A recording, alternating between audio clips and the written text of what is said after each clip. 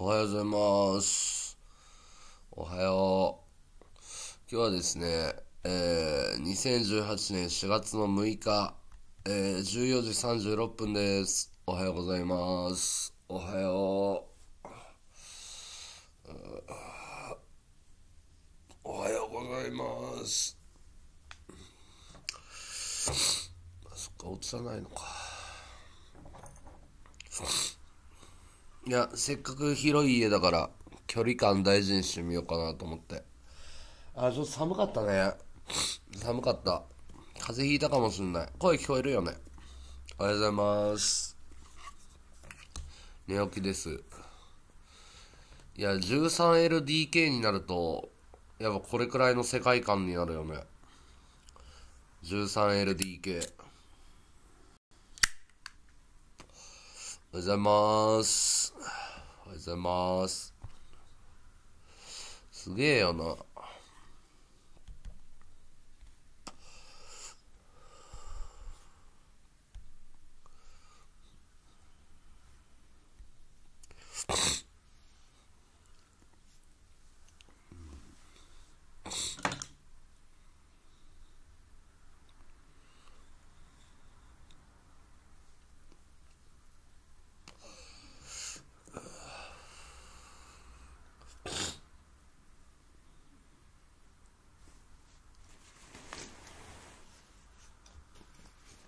あ、よかった。コーヒーがある。ラッキー。モーニングコーヒーゲット。5個じゃない、ライトだよ。眩しい。これ消す？ライト。消すか。こ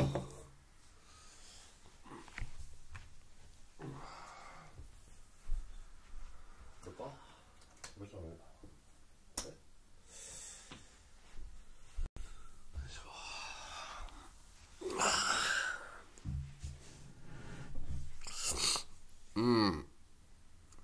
社長の家に来てる。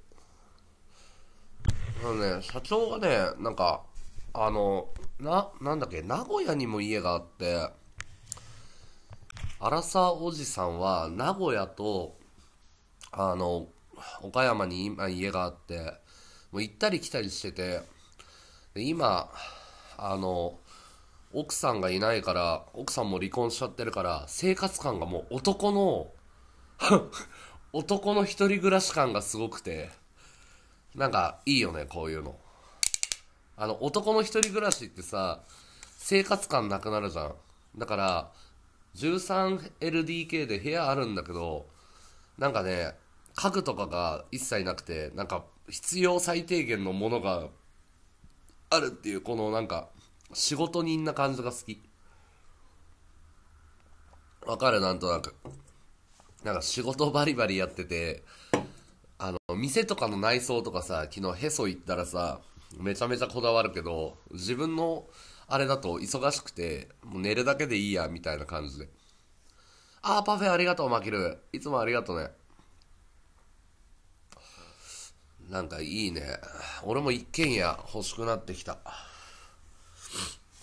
で、なんか、岡山もし住むんなら一部屋あげますよって言われた。ここ3階建てなのよ。ここ3階建てで最上階にいるんだけど今。最上階のこれは何になるんだ？部屋何畳あるんだこれ？うん。20畳とか。何畳だろう？20畳？うん。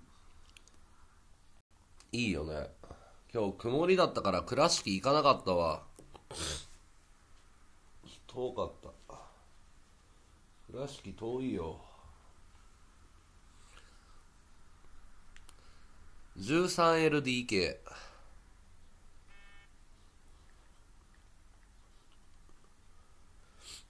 いいよね。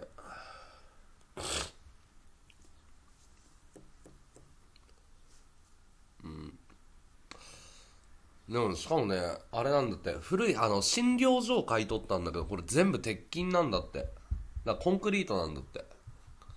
だから下病院になってんの。元診療所病院っていうか。だから部屋畳の部屋とかもいっぱいあるし。だか古い豪邸じゃん。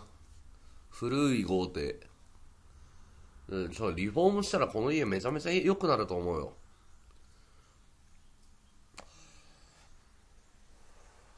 ていうか岡山夜走ったんだけどさ真っ暗だね。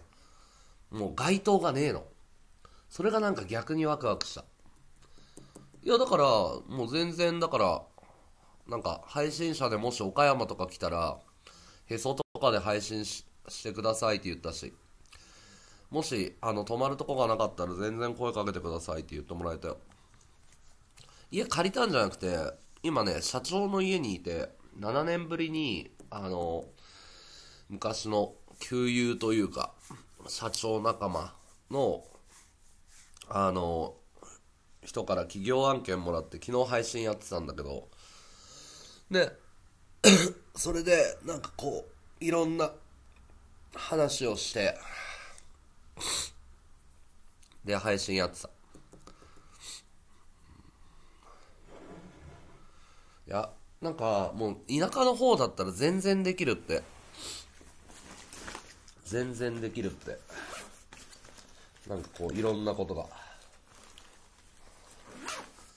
借りたわけじゃないよ。いやっていうか別に家賃いらないから一部屋欲しかったらあげるって言われた。岡山にあのていうか全部の部屋がめちゃめちゃでかいの。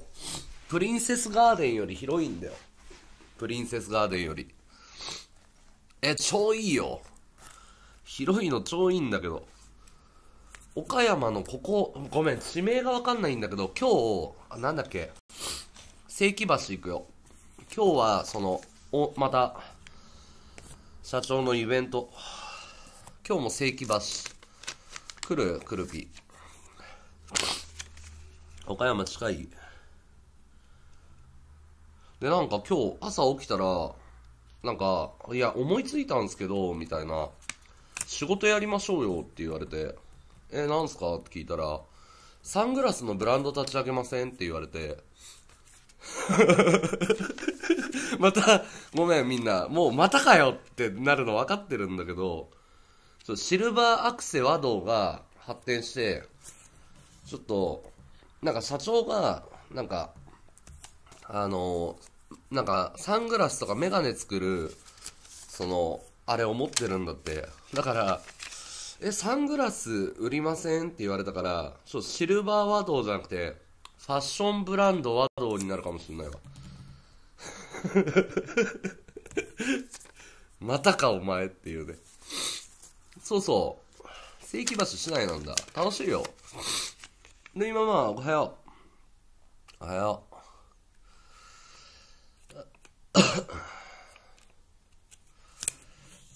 もうジーパンも作ろう。もう全部やるか。いや、昨日ね、すごい人と会ったんだよ。配信外で、あの、最後に映ったさ、イケメンのお兄さんいたじゃん。あれ実は、あの、イタリアのフィレンツェで、ブランドオーナーで、なんか、すごい人らしいよ。なんか、本当のパリコレとかに出てる、なんか、なんとかガルチャーノみたいな、なんか、俺はよくわかんなかったんだけど、本当パリコレのデザイナーを抱えてて、出資してて、あの、フィレンツェ、イタリアのフィレンツェで、今、ブランド立ち上げてる人で、で、なんか面白かった。すげえかっこいいアクセサリー、シルバーとか。その人はシルバー作るとかじゃなくてオーナー側なんだけど、イタリア人のデザイナー雇ってて、パリコレの。で、その、イタリアでもし、その、今軌道に乗せて、店舗立ち上げてるんだけど、日本にも持ってくるから、ちょっとなんか配信面白そうだから、ちょっとあれだし、イタリア来てよって言われたんだけど。いつまで言いますか？多分ね、岡山は今日までかな。明日名古屋と大阪行く。市内まで遠いんだ。でもね、遠いっつっても新宿よりは近いでしょ。夜のね、8時半に世紀橋。もし来るんだったら来てね。夜の8時半。もうそっからいなくなっちゃうよ。もし、会いに来てくれる人は大歓迎ですよ。一期一会だからね。楽しいね、アグリンね。仲間をいっぱい増やそう。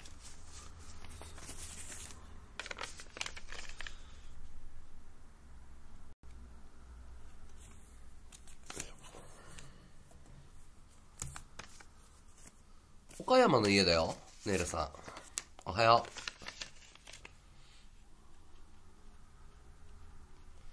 う。岡山ここは。岡山のなんていうエリアなのか全くわかんないんだよね。あの地名がわかんないね。岡山に土地勘がないからさ。ああそっかそっか。そっかそれだと無理だね。うん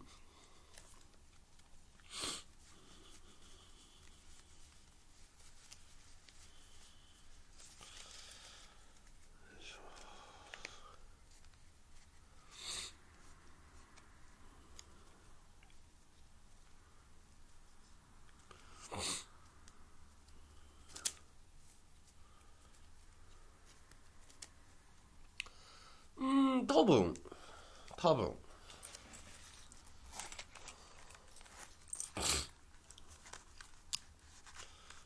岡山リスナーさんからのフォローがすごいんだけどやっぱ地元愛って大事だね。なんか岡山のなんかフォロワーさんのリスト見たらなんか20人ぐらい増えててなんか岡山の多分リスナーさんなんだよね。すげえ嬉しい。なんか結構旅配信やるとさ地元来てくれてありがとうフォローがあるからさおおザクロいらっしゃい。なんかそういうのいいよね。いや石野に俺ブロックされたよ。石野にブロックされた。呂布カルマさんおはようって言われ呂布カルマさんですよねっつったらブロックされた。いやもう石野とはもう関わることはなくなったから。おはよう。う遠征楽しいな。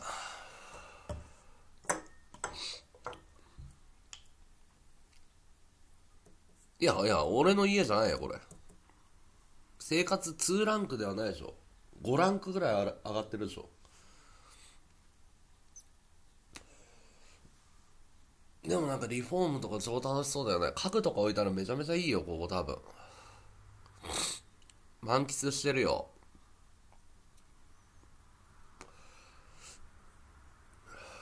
広い家いいなやっぱ。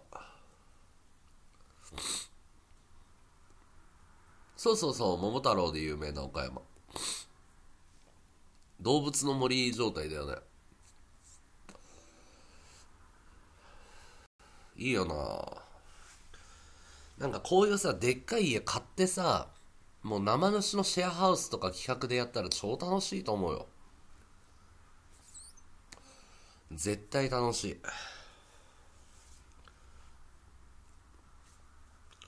田舎の方だったら全然安いって言ってたし社長不動産もできるから岡山寒いねちょっと。なんかちょっと昔の映画にありそうなワンシーンっぽいよね。石野にブロックされちゃった俺ポポさん。ブロックされた。いやいや何入れてもブロックだよ。だからアイテムくれないとブロックだから。ブロックですよブロック。ブロックされた。あ別にいいんだけど。俺は意思の監視することができなくなった。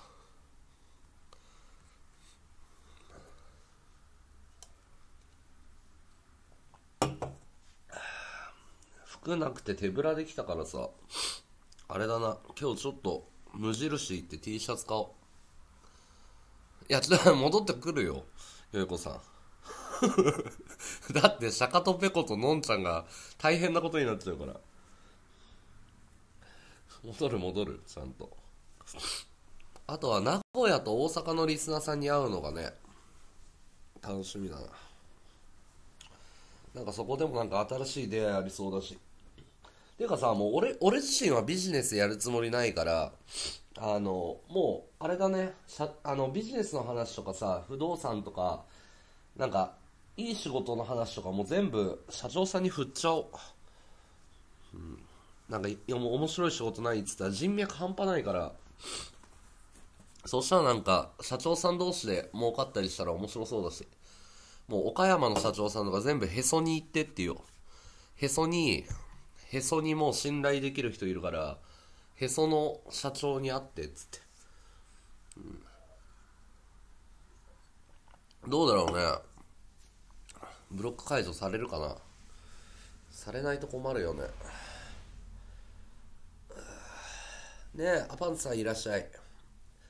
お西成別に興味ないんだよね俺。なんか西成の人結構迷惑してんじゃねえかっていう感覚なんだけど。なんかホームの人がそれやるんだったらいいけど完全に西成なんかサファリパークみたいな扱いしてんのちょっと嫌なんだよね俺多分ね西成の人はあれ良くないと思うよ地元の人とか中に住んでる人とか関係ある人がやってんならなんか面白いと思うんだけど、なんか西成のリアルみたいな。西成の人がやんないとあれダメだと思ってて。完全に怖いもの見たさだもんね。そう。なんか、西成の人に対してあんまり感じ良くないと思ってる。かわいそうじゃん。あれは西成住んでる若い配信者がやるべきだよね。西成出身の人とかさ。ん？パルちゃんやっちゃった？え、何？一種の見てたってこと？ねやっちゃったって。パルちゃんいらっしゃい。だって、正直、配信で西成で回してても、そんなに暴力沙汰とか、シャブとか、変なことなくない？ただ西成で配信してるだけで、なんか俺西成配信数々見てきたけど、別に西成ですごい、すげえ西成って思ったこと一回もないの。ただ歩いてるだけっつうかさ、だから、なんか、西成ってこういう街なんだとか、西成ってこんなすげえんだっていう感覚が一回もないんだよね、西成配信。なんか飯食ってるだけじゃん、西成で。うん。あー、バックパッカーとかね、人気だろうね。わかる気がする。うん。私が小さいのではない、なかなかさん。部屋がでかいんだ。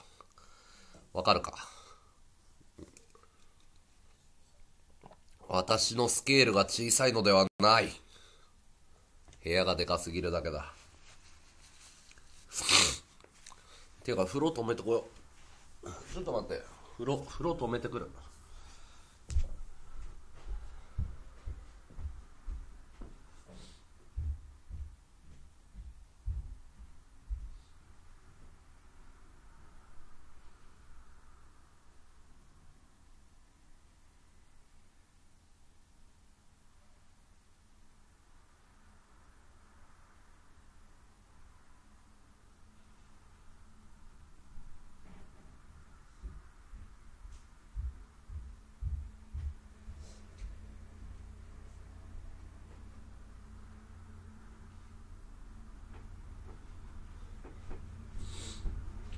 お風呂沸いた。よ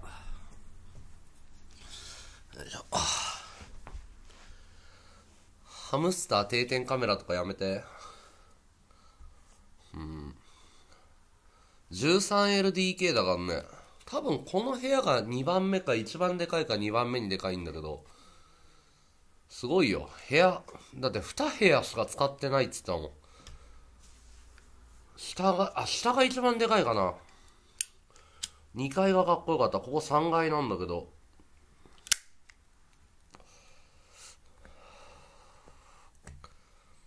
いや、なんかね、多分ね、前住んでた人の、なんか、なんつうの、押し入れとかね、カーテンとか多分ね、前使ってた人のね、すごい古いから。うん。すごいよね、13LDK って。岡山すげえわ。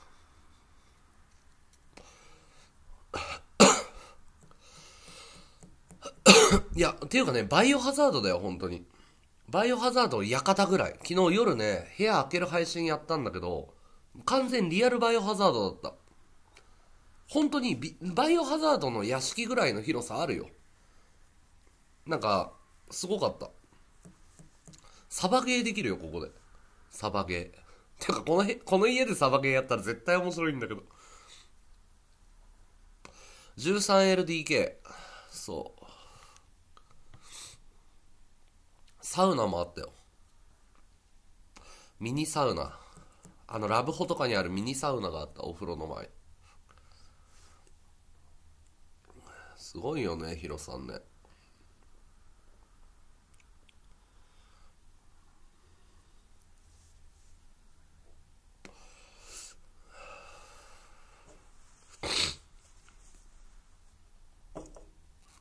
13LDK 部屋の中徘徊する？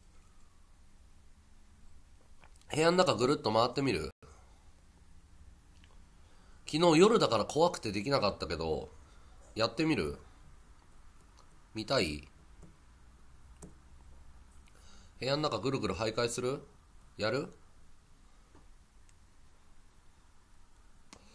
人の家で配信回すのどうなんだけど。いやマジでリアルバイオハザードだったよ。本当に宮城さん。部屋見たかったら回る？社長の家。でもあれだよ。なんか引っ越してもう男の一人暮らしだから本当に生活感なかったけどね。だからリフォームしたりカフェとかやったらめちゃめちゃ楽しくなると思う。回るか。ちょっと待っ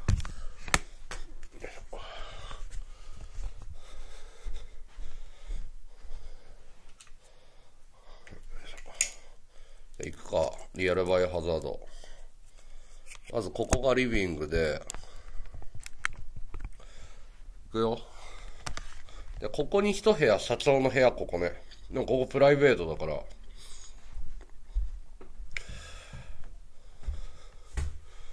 電波あるのかな？でここにサウナあるでしょ？ここにサウナあるでしょ？ここにお風呂あるでしょ？風呂も広いんだよね。風呂。で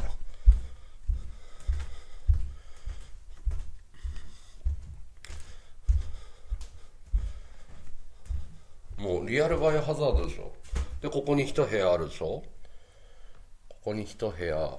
でこっち側にも一部屋。これ8畳だからここがプリンセスガーデンよりすでに広いんだよ。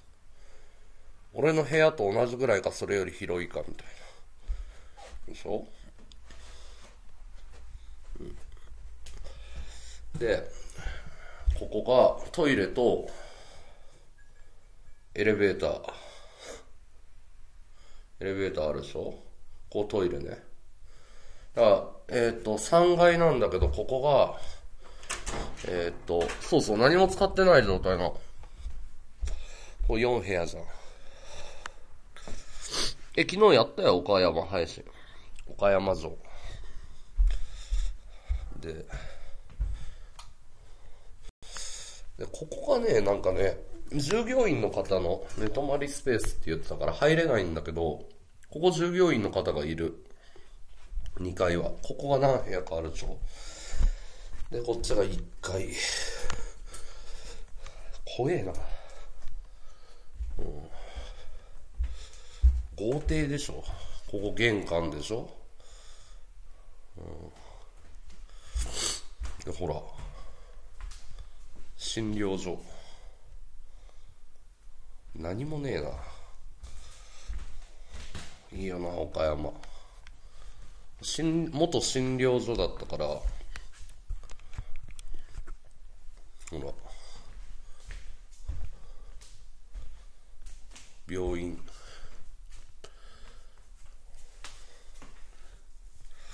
ここは多分受付だったんでしょ。うだから自宅兼診療所みたいな。ここにもあるでしょ。すごいよね。いや何もないでしょ？いやだからもう買い取ってなんかここでどうするみたいな感じだったんだって。もったいないよね。だから別に一部屋ぐらいどこ好きな部屋使っていいっすよって。家賃とかいらないんで引っ越しますって言ってた。セカンドハウスに使っていいっすよって言われた。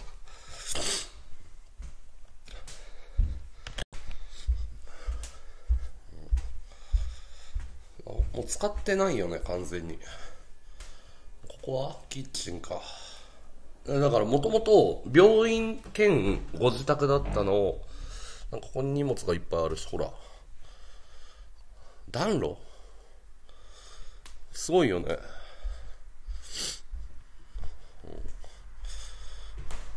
庭もあるじゃんガーデニングできるよここ綺麗にしたらすごくない？いやもうしかもあこっち側も庭あるじゃん。いやそれがね幽霊出ないって言ってた。社長さん霊感ある系の人なんだけど。うん。でこっち側にも部屋あるっつってたなあ元病院兼ご自宅みたいな。ほらここにも部屋あるし。ここここいいんじゃないですかって和道さんっぽくないですかって言われたよ。あ、なんつうんだっけ、この廊下。いいなこれ、懐かしい。この廊下が、いい、なんつうんだっけ、縁側っつうんだっけ、これ。これいいね。ここ。旅館とかにあるこの最強スペース。なんて言うんだろう、これ。まあ、こんな感じかな。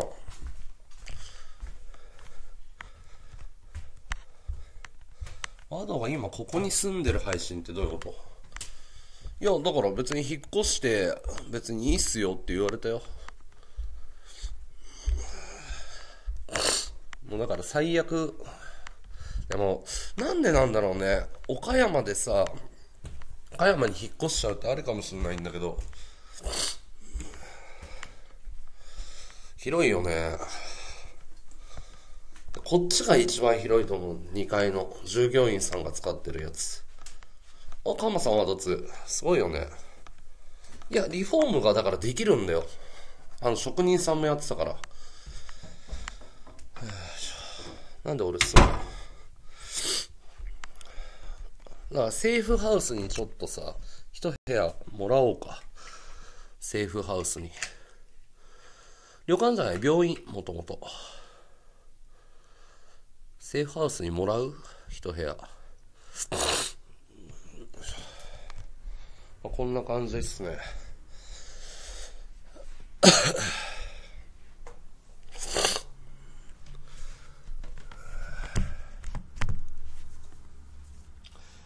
伝わった。そうなんだよね。そうそうそうそう。メインで住むってなるとやっぱおかしくなるんでしょ。いや座談会のワークショップよりすごいことできますよ。いや自宅に使ってんの。社長さんが。何かに使うんじゃなくてただ普通に寝泊まり用に買ったって言ってた。うん。遠い。いやせっかくだから遠近感を楽しもうかなと思って。せっかくの配信だからね遠近感をフルで使うのがやっぱり和道の配信ですから。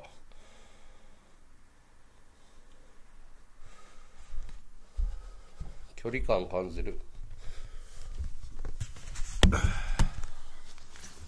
シェアハウスとかの企画とかできるのに座談会にもったいないでしょ？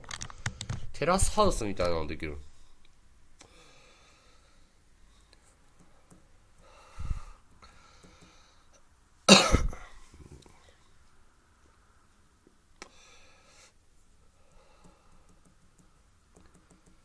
白いよね。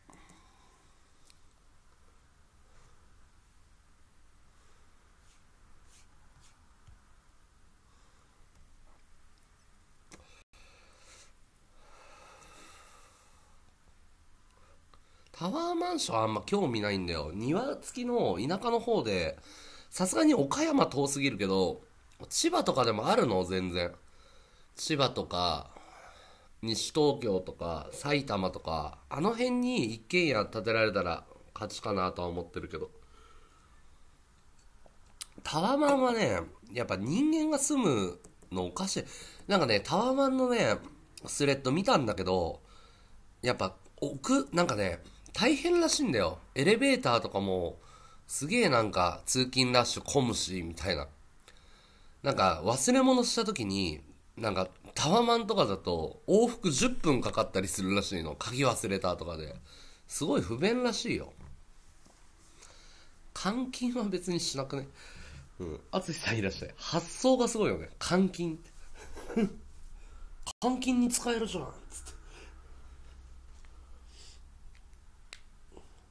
もともとそのあの昨日一緒にいたここのさ持ち主の社長さんが不動産屋やってたから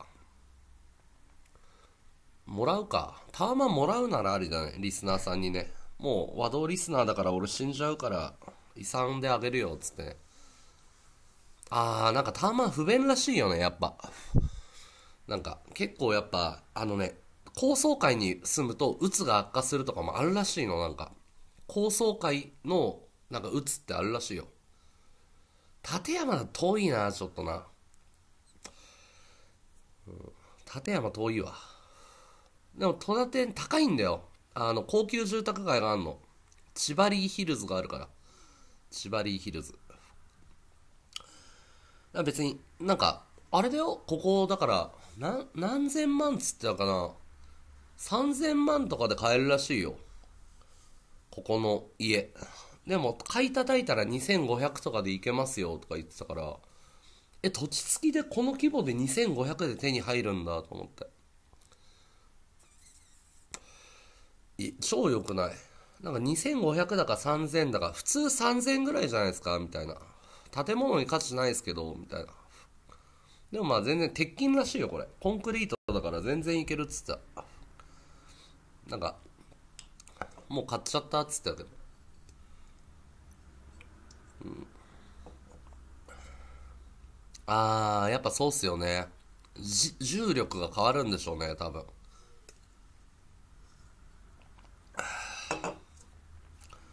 気圧も違うのか。やっぱまあまあそうだよね。ずっと何百年何千年とさ、もう何億年と地上で生活してたのに、いきなりやっぱ高いところ行くと気圧とかね、いろいろ変わるでしょ。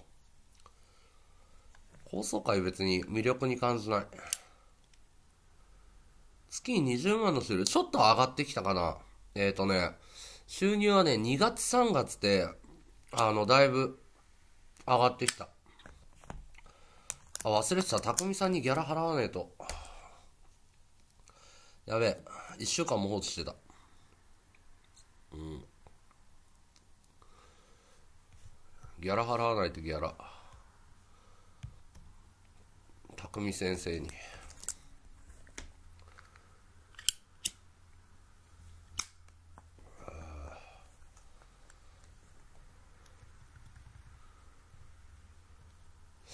じゃあ風呂入るかな。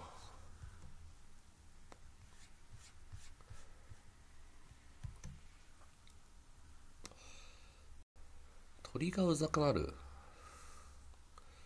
いやマルチ商法はもういいやてかビジネス自体は俺はやるつもりないよ遊んで稼ぐよやっぱ俺はてかね遊んでた時の方がなぜか収入高くなるの俺の人生あのね、金金ってやってる時とか、ビジネスビジネスしてる時そんなに稼いでないんだよ、実は。そうじゃなくてね、適当にアイディア思いついて、遊んでる感覚でやってるとね、なぜかね、うまくいくんだよね。なんでなんだろう。うん。あー。いや、あの、俺は人使うの無理だから、なんか個人でやっぱり小金掴むのが一番いいと思うけどね。うん。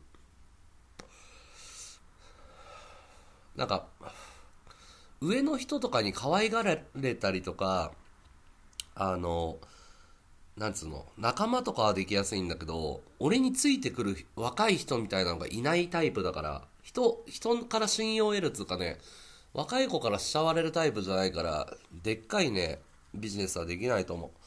ナナさんいらっしゃい。知り合いの社長さんの家。リュウさんいらっしゃい、初見さん。もしよかったらフォローして。今、岡山なうですね。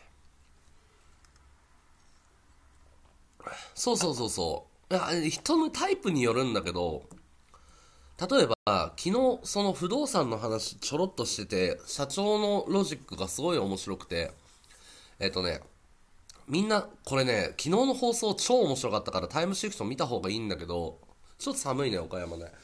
あの、えっ、と、みんなさ、その、3500万とかで普通家買うの？中古の家、あ、中古つか新築で建てる時とか、ちょっと田舎の方とかって。千葉とか3500万とかで家建てるのよ。で、もうワンランク上が4200万、4800万とかなんだけど、例えば3500万の家を、えっ、と、2%から4%の金利で一軒家買うときに、だいたい2%から4%なんだって、普通の住宅ローンって。で、あのー、35年ローンかかるんだよ。35年間毎月払っていくんだけど、最終的に払う金額って6500万から7500万なの知ってた？やばくない？だから結局あの倍近く払うんだって35年後には。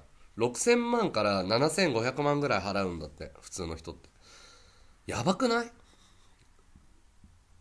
でそれ考えたらなんか一軒家手に入れるってすげえなと思って。そうローン。でもさ金利って怖いじゃん。複利でかかっていくから結局最終的な返済額そんないくんだと思って。だったら300万でもう不動産の価格とかもう田舎の方とか暴落していってるの。で2300あったらもう普通に500万とかあったら中古でそこそこいい家買えるんだって。うん。一括で払えたら別にローンかかんないから全然いいんだけどだからなんかそう2300万で家欲しい人とかにその売ってるんだって。まあオラカード持てないねパルちゃんね。うん。距離感じる。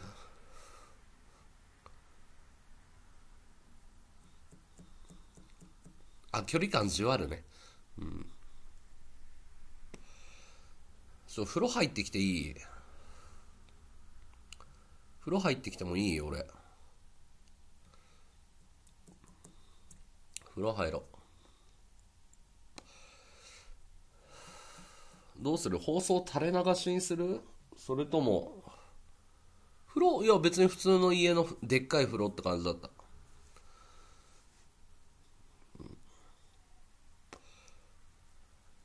あだから会社員の人は普通は3500万ってことよ。だから別に2300あったらそこそこいい家あの紹介しますよって言ってくれた。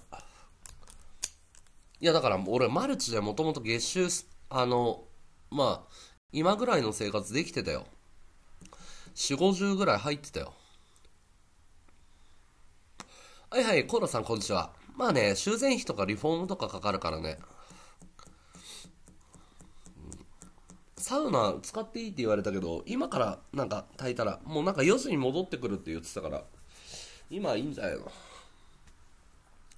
お風呂配信できたらいいんだけどな。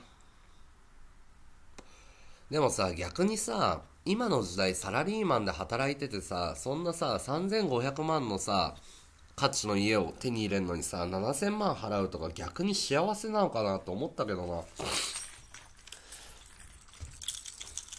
結構俺田舎の方で中古の家で500万とか300万とかで手に入れるの結構ありだなと思ったけどね。夫婦とかのなんかフリーターカップルとかでも全然夢あるなとか思って。なんかそういう生活もありだなと思ったんだよね、そういうなんかちょっとプチなんかなんかちなんつうの？古くていいものってまだいっぱいあるからで別に土地のさ不動産はさ別に土地自体の価値がなくなるわけじゃないから表し会。なんでカード持ってないんですか？いやだからプー太郎だから信用がないから。社会性だって配信業なんか認めらんないでしょ？一般社会で。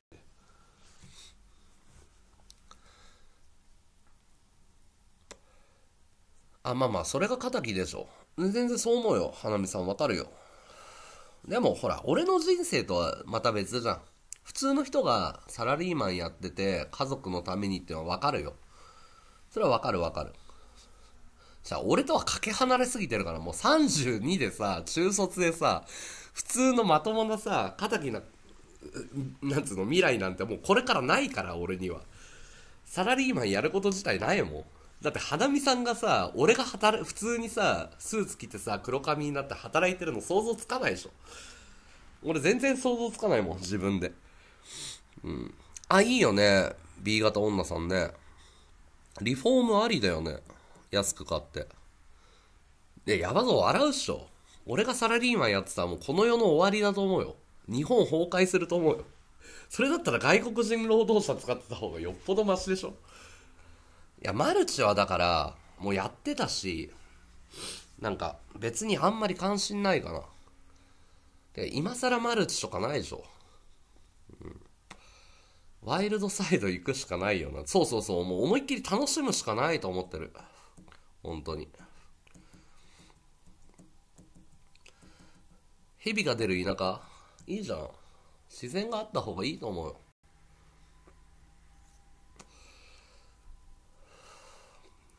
あと日本土地がないとか言ってるけど余ってるよね実際は。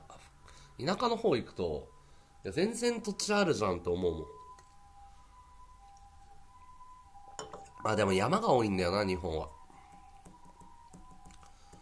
平野がないよね。配信者巻き込んでいやいやそこまでなんか責任持てないから配信者巻き込んでっていうのはあんま考えてないかな。でもなんか社長が言ってたけど、サングラスのブランド作りましょうよって言ってたから、シルバーアクセ和道がファッションブランド和道に変わる可能性出てきたからみんなそれだけ頭に入れといて。いや別に自給自足じゃなくていいじゃん。あ、まあね、維持は大変だよね。でもまあ買っちゃったら家賃かかんないから、ぶっちゃけた話プリンセスガーデンに6万払ってるんならさ、300万ぐらい貯めて家買っちゃってその6万かかんないと思ったら固定資産税って300万の家とか500万の家じゃ全然かかんないでしょ。そうなんだよね。やっぱ東京便利だからね。超うまいね。田舎いいね。ちょ、風呂入ってきてもいい？一回放送止めた方がいいかな。みんなでわちゃわちゃしてんの。定点カメラ、放送つけっぱとさ、放送切るのどっちがいい？つけっぱなしにしておく？チャットやる？みんな。チャット。つけっぱの方がいい？みんな。固定資産税どうなんだろうね。いやその社長さんもう従業員100人ぐらいいるから全然困ってないんでしょ。だって名古屋にも家あるっつったもん。あじゃあちょっと風呂入ってくるわ俺。よろしく。風呂行ってくんね。今日もよろしくね。岡山配信楽しもうあ歯磨こう。歯ブラシ持ってきたかな。ちょっと風呂入ってくるわ。うん、和道リスナーでなんかわちゃわちゃチャットやってていいよ。別に俺ブロック入れないから。よいしょ。じゃあ行ってきます。いや、スローライフでいいと思うよ。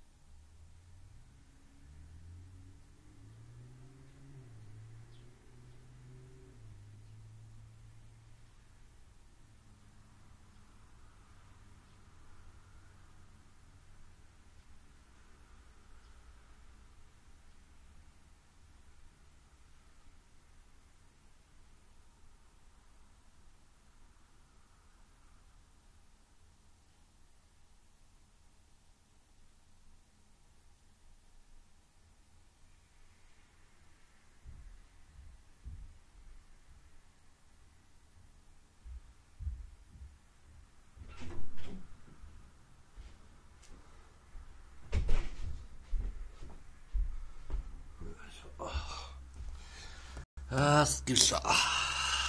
ただいま。うん。いいね。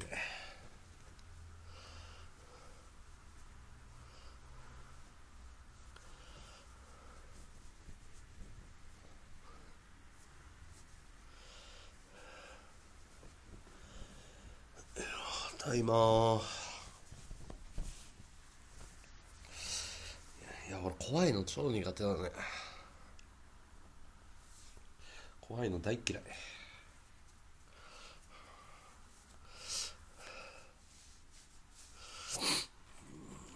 何？呪いって何？何の話してんの？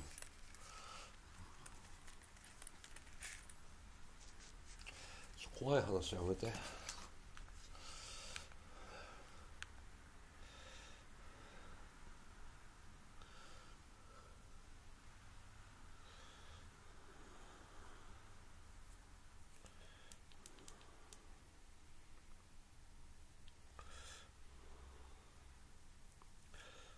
引きすぎかな。よっぴーいらっしゃい。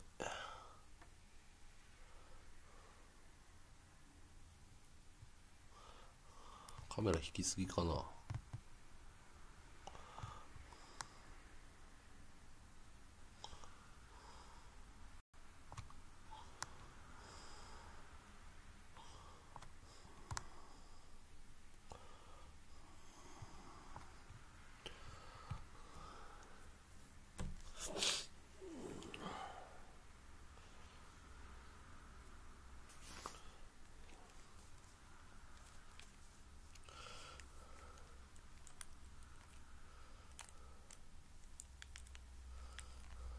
部屋広いね。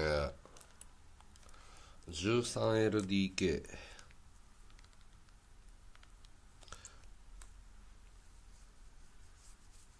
豪邸ですね。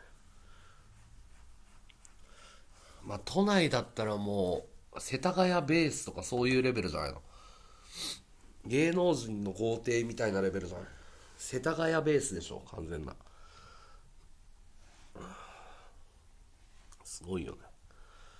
でけえよ。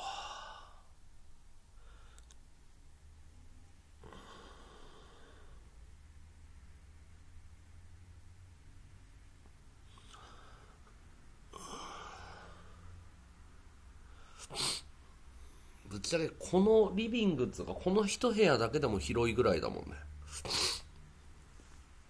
これだけででかっていうレベルなのに。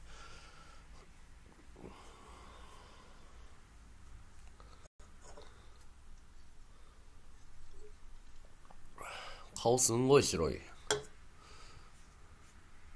なんだろう。美白美白だからね。愛犬タメはどつカメラがえー、っとホワイトバランスがおかしいのかな。これくらいか。こんなもんか。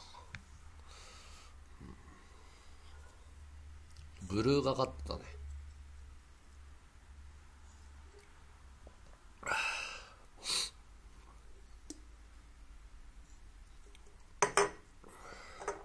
広いよね。普通に豪邸だったよ。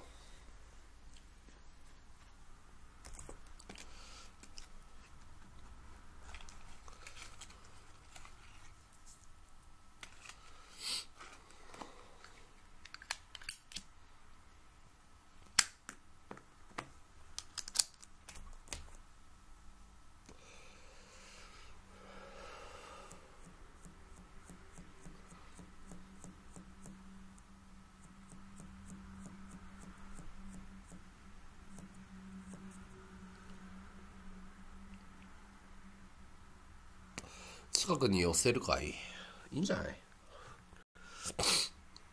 たまにはこういう配信も。お疲れっす。お疲れ様です。たまにはいいんじゃない？のアイアンマンスーツはないね。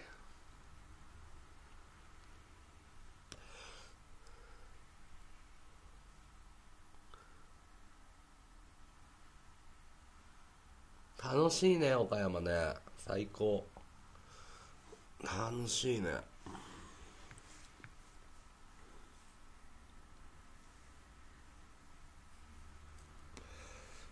いいな。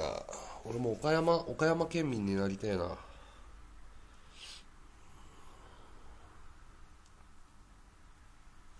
ねえ楽しいね一緒にね旅するのね。きびたんごまだ食べてないけどなんか地元の人がねあんまり押してないんだよね。あフォローありがとう。延長するんでもしよかったらアイテムください。あの風船とかバーガーでもあのありがたいんでよろしくお願いします。アイテムよろしくお願いします。きびだんごなんかね微妙って言うんだよね。岡山県民さんは。うん地味地元の人もまずいって言ってたね微妙みたいな。ぶどうとか桃はやばいっつったよね。牡蠣とか。それはもう抜群におすすめだって言ってたけど。マジうまいらしいよ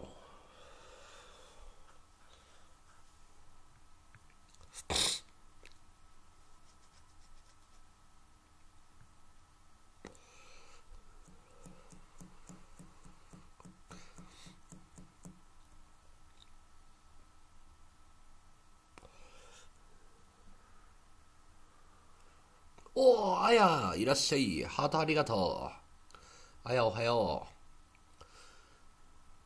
う。俺のコメント欄を真っ赤に染めて。いや、まだ旬じゃないらしいね。シーズンではないらしい。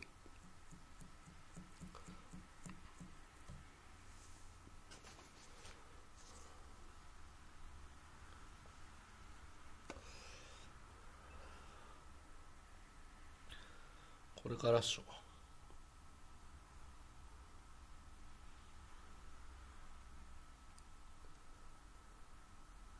や、俺、成田の資産家じゃないよ。それ、どこ情報？全然成田の資産家じゃないよ。それ、ないわ。車庫もうまいんだ。へえ。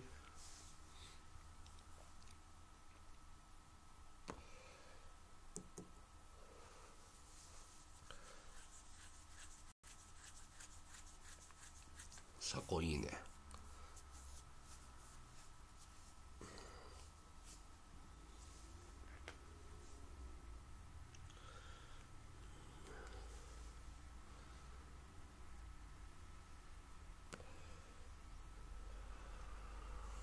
遠すぎるかな。せっかくだからなんか部屋の広さを伝えた方がいいかなと思って。やっぱ遠すぎた。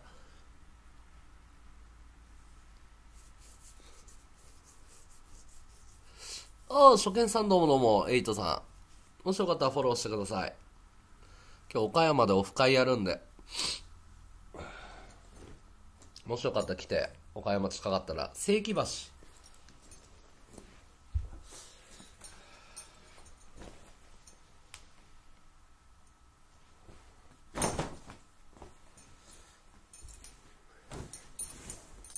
岡山の正規橋でやります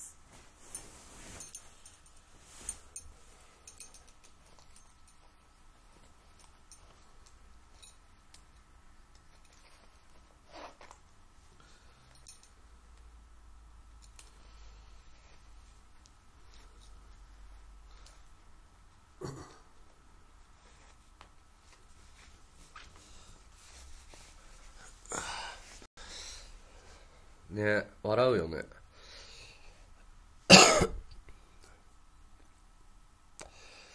もっと遠くでも大丈夫。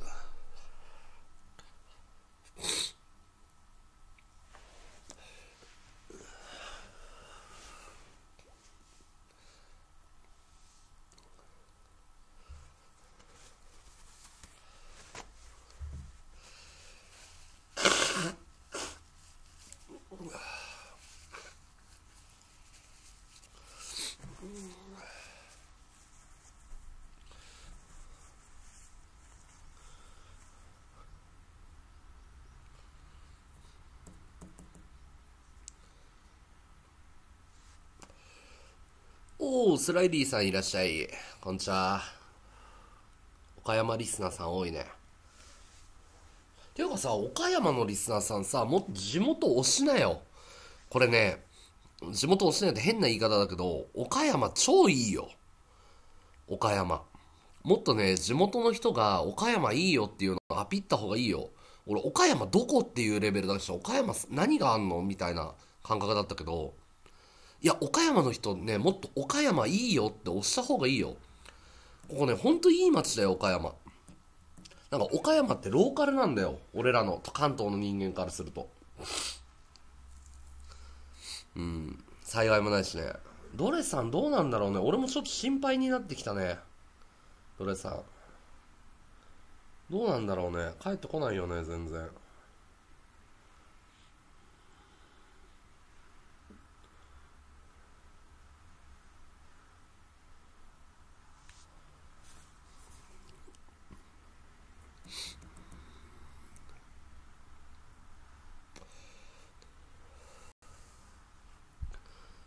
地元愛はあるんだけど岡山の人って。地元愛あるんだけどなんだろうあんまりそのプッシュしない感じの印象だった。いやドレさんガリガリになってないですよ。ブクブクに太ってます。俺テレビ電話で見た時超太ってた。びっくりしたもん。今デブってますよ。顔20顎でパンパンだよ。逆逆。俺見てるからドルさん顔。顔パンパンです。うん。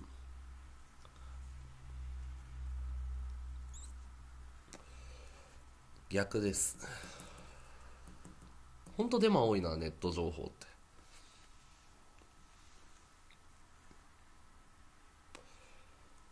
太ったなーってなるよ。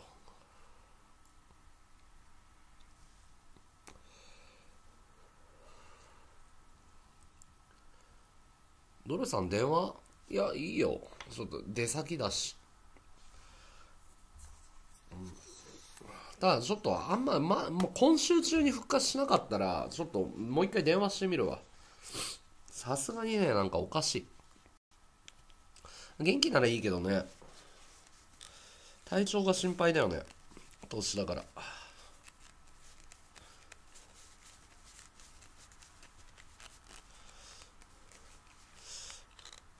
さすがに1ヶ月も休むと思ってなかったからさ。ねえ橋さん部屋広いよねここね。いらっしゃい。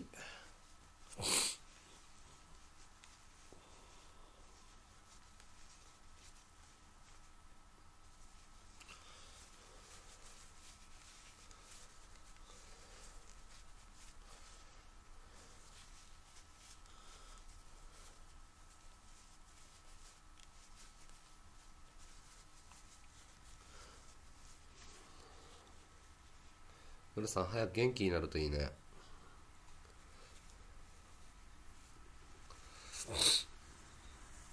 ゴミ箱ねえのかな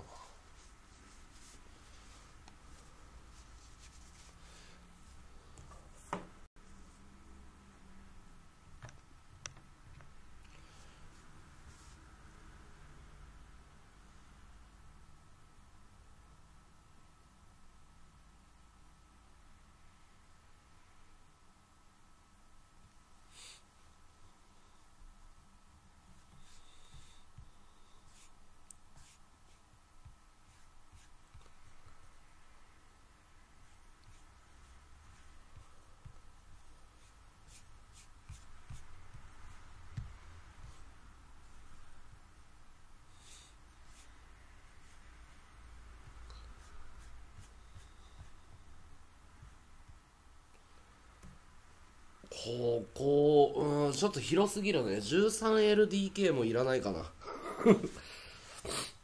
広すぎる。管理しきれない。5部屋ぐらいあったら最高だなと思うけど。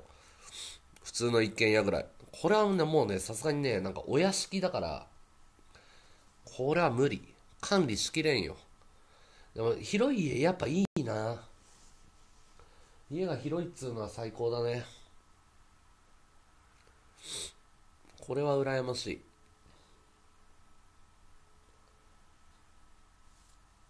い。なんかこう伸び伸びと空間を使えるっていうのはいいよね。まあ外の空気吸うか。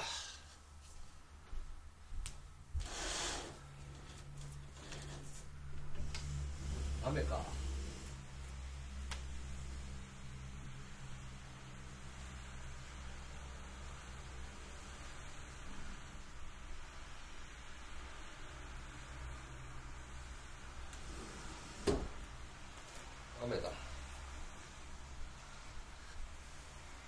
掃除大変だよね。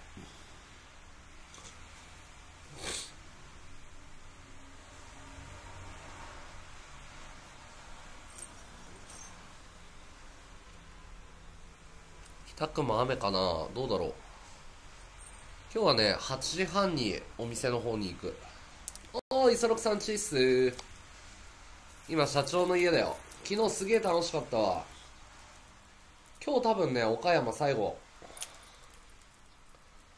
あのい昨日出演してくれた磯六さんだよ。磯六さんいい人だったな。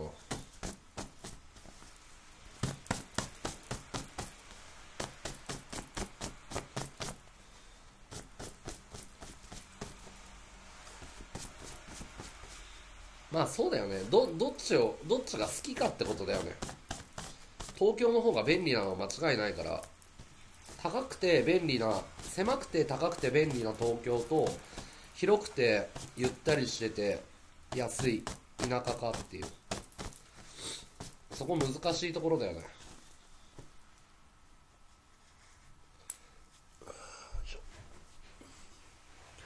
俺は田舎の方がいいいい判断だと思うけどね。伸び伸びしてるし仕事楽しそうにやってる感じがあったね。窮屈な感じがなかったね。東京に比べて。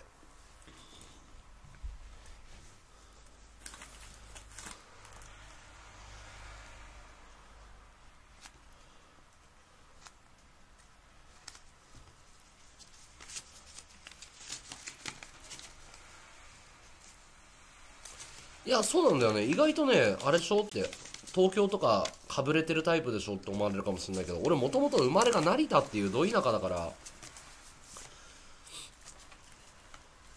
成田都会だと思ってる人多いんだけど千葉も岡山も変わんないよ。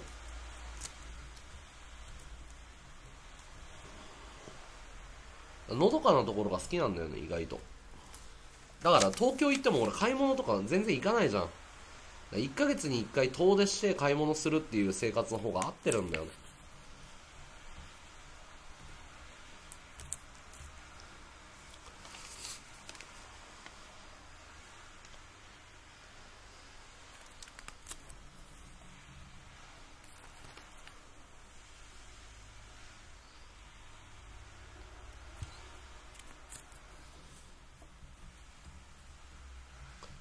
岡山移住計画ね。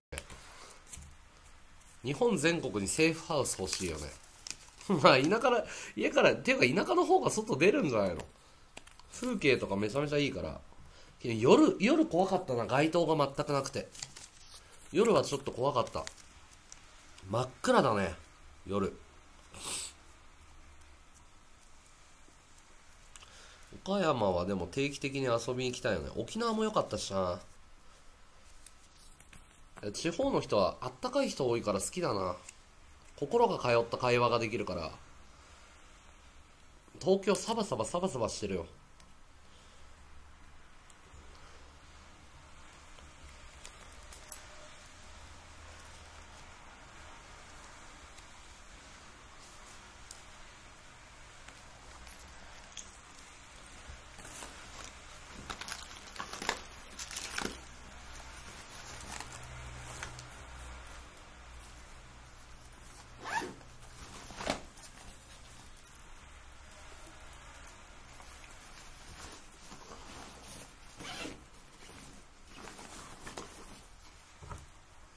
ちゃわかるよね。だからね多分ねあの地方の人気づいてないんだよね。その自分たちがその心がさ綺麗とかあったかいとかフランクとかさ気づいてない東京に住んでみるとマジでね心がボロボロになるからね。人との交流がなさすぎて。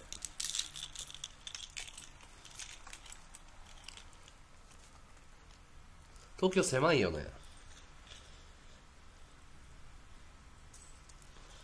土地がバカみたいに高いからね。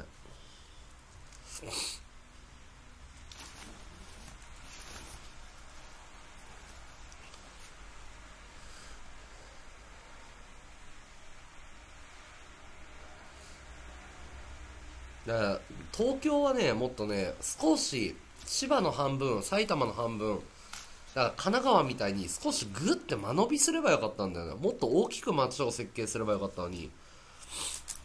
空間が狭すぎるんだよ。10年前の方が明るかったんだ。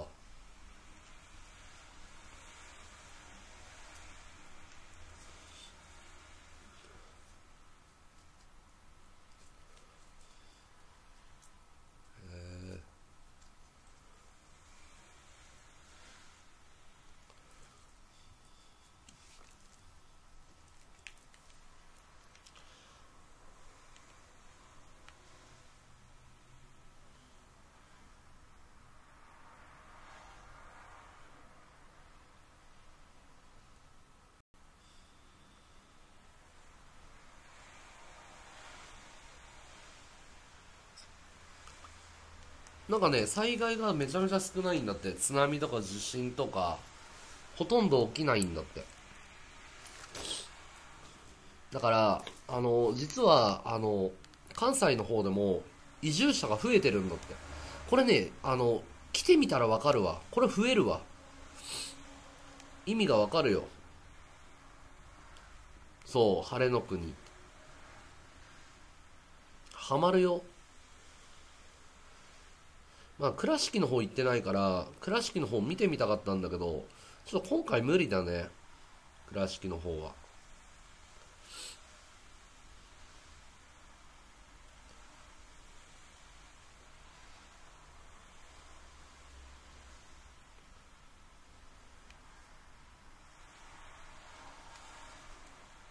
岡山駅っていうか普通に街中栄えてたよ。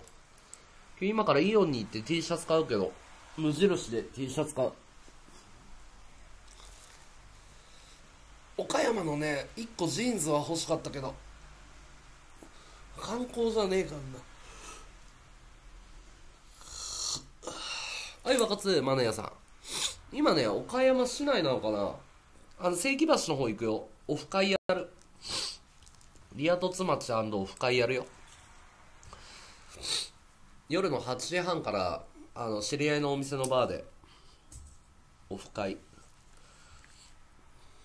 来る？マナヤ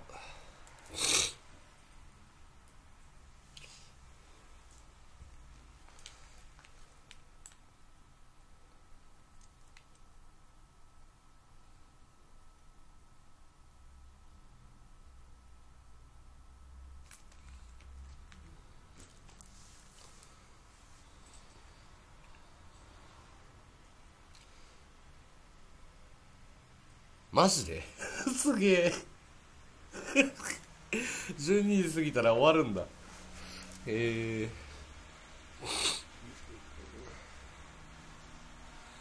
マジか。それは知らんかったな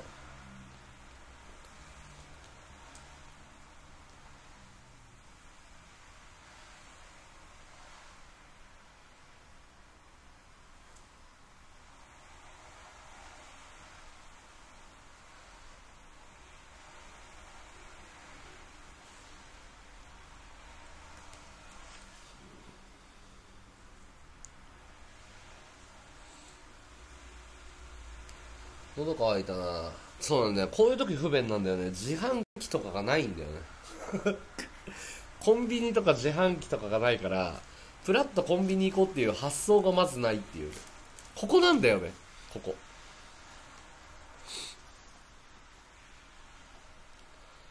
それがある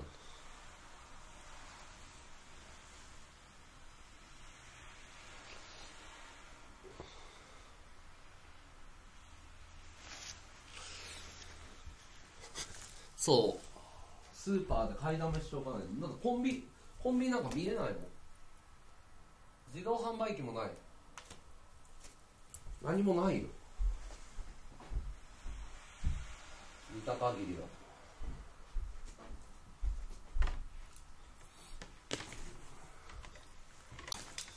何もなくない？これ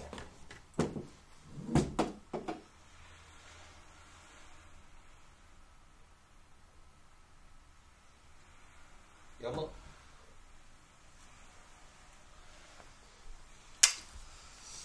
皆無ですよ。皆無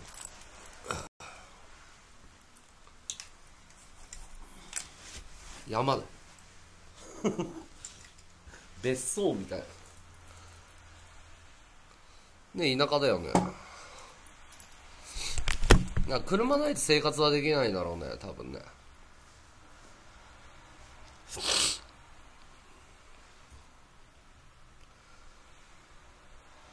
ね。えあ田舎がこっちの方なのかな？マナエは。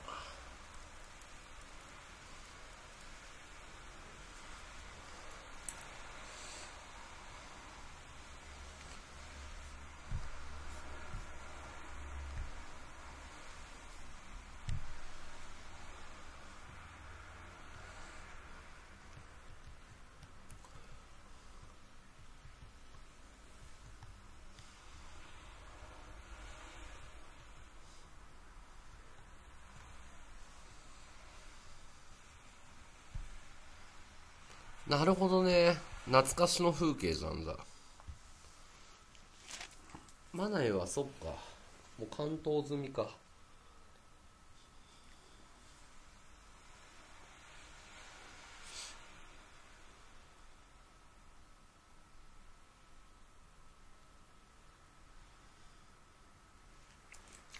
ちょっとあれなんだね。岡山ってさ女の子ギャルっぽい感じがしたんだけどギャル文化なの。なんか懐かしいんだけど東京ってギャルもういないじゃん。ギャル文化じゃない？これ分かる人いる？ギャギャルっぽい感じがするんだけど。おしゃれだね。うん。ギャルだよね。マナエもギャル系じゃん？どちらかっていうと。いやなんかねギャルっぽい感じだよ。ギャル文化だよ。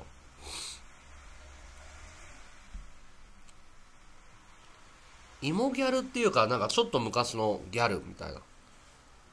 もともとギャルだったんだ、C さんも。なんか、ちょっと懐かしい。黒ギャルとかじゃなくて、そのちょっと前のギャル。そうそう、リナネコみたいなの、そうそうそうそう。そうそうそうそう。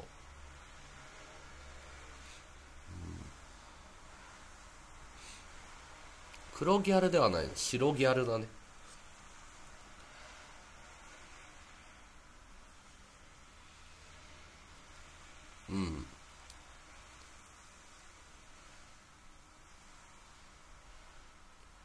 やんちゃな子が多いんだ。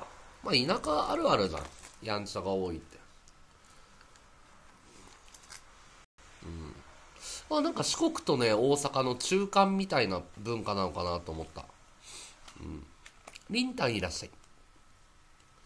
ヤンキー色そこまで強くはないけど気が強そうだなと思ったね。そんなゴリッゴリのヤンキーって感じじゃなくてやんちゃって感じ。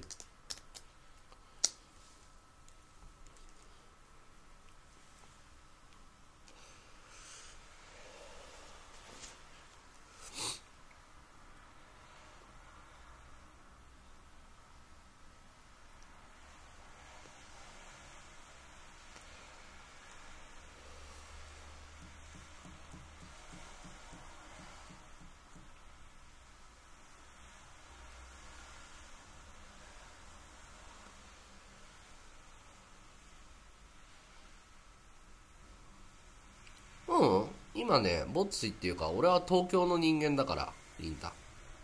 ぼっちじゃないよ。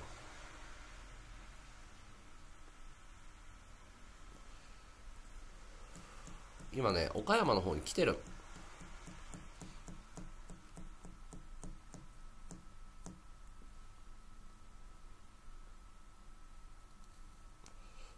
峠走るんだ、あそうそう。お仕事かな。マジで。今日オフ会やるけど来る言うん。なかなかね行く機会ないよね。おすすめだよ。今度倉敷の方も行こ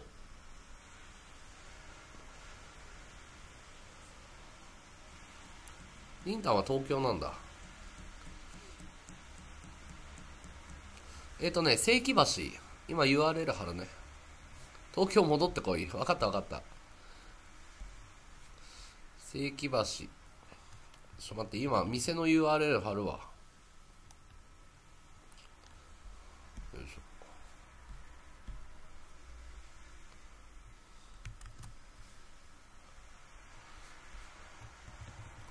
来なよリスナーさん集まってオフ会やるから。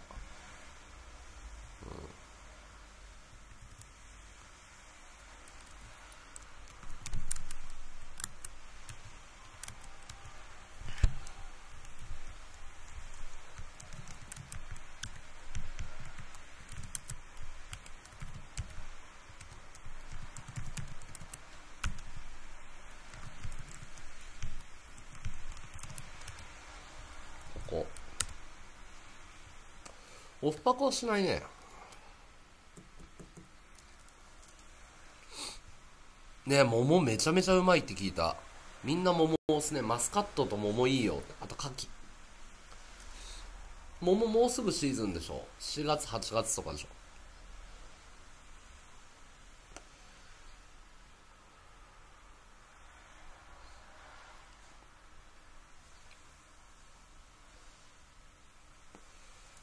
この URL があの会場ですね。オフ会会場。昨日結構飲んだけど安かったよ。1杯500円だから。5杯飲んでも2500円だからね。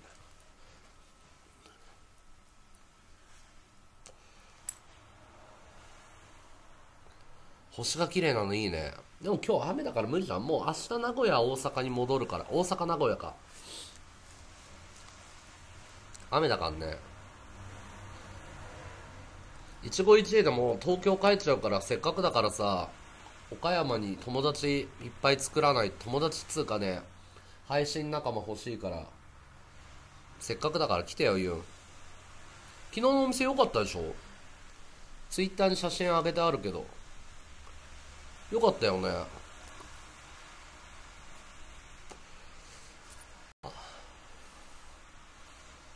そう。もう明日は関西の方に行っちゃうから。名古屋大阪あたりにいると思う。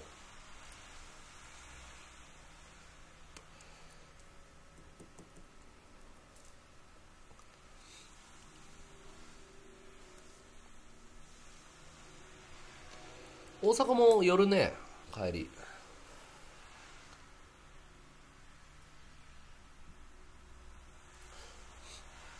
あそれどこのどこもそうでしょ東京だってそうだから。八王子とか吉祥寺とかなんかね西東京の方行けば行くほどやっぱ田舎になっていくからね。誰くんの？山本五十六さんっていう配信者の方も来るって言ってたし。昨日五十六さんが一人あの女性連れてきたし。俺もなんか女性の方あのユッピーっていう女の子が来てない地元の女の子。なんかリスナーさん結構集まってたよ。なんか、ネットのつながりってさ、ふわっち好きのさ、人とかもいないし、まあ、なんか、面白かったね、地元のトークが。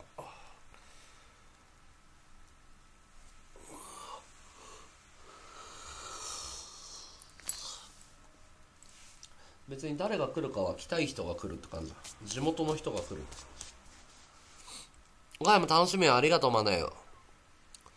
嬉しいわなんか岡山岡山にゆかりのある人が集まってくれて。オフパコしたい俺と？いや俺はオフパコしないけど。インタンごめんね。リスナーさん同士で出会いがあればいいんじゃない？俺は関与しないけど。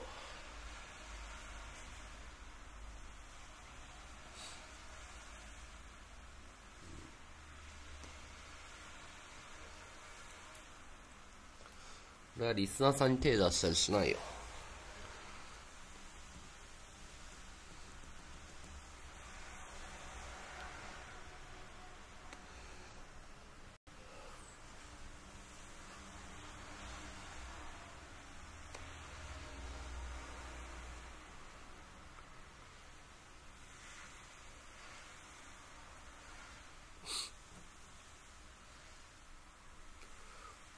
マイケル・ジャクソンだからね。しょうがないよね。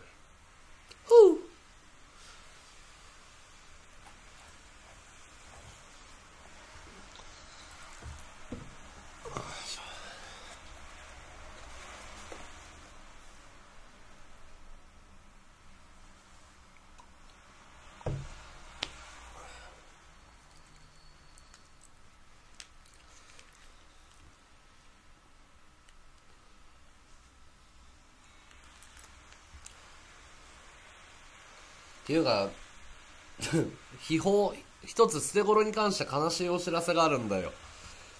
今日便所さんから試合の正式なルールの発表があって送られてきたんだけどちょっと悲しいお知らせ言っていいですか？インターバル30秒なんだけど殺す気満々でしょ？便所さん。あさ2分2ラウンドのインターバル30秒だったんだけどあの人格闘技やってるよね。ちょっと考えてよ。便所さんインターバル30秒はきついって。2分間殴り合った後30秒休憩だよ。それどう思う？せめて1分欲しくない？いや時間の都合とはいえさそこ30秒メインの試合なんだから便所さんにクレーム入れようかな便所さんにクレーム入れていい？便所さん今放送やってんのかな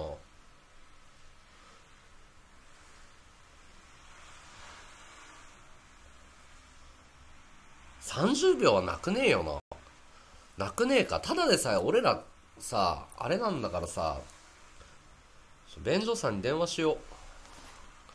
便所さんにクレーム入れるわ。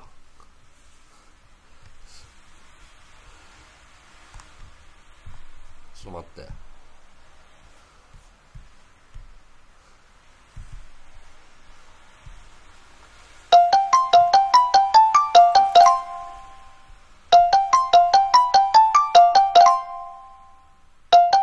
出ねえかな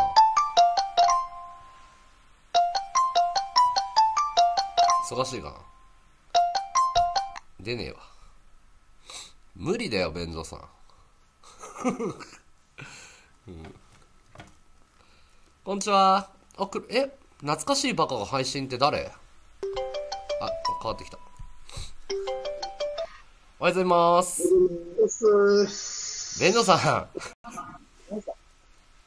便所さんインターバル30秒無理っす。インターバル30秒無理？インターバル30秒1分にしてくださいよ。休憩。無 理無理。試合数が多い多いから、はいプロデューサーと話してたのよ。はい。1分にしようか、はい30秒にしようかっつって、はい。で1分だとやっぱ観客がだ、観客とか見てる人がだれると。マジっすか？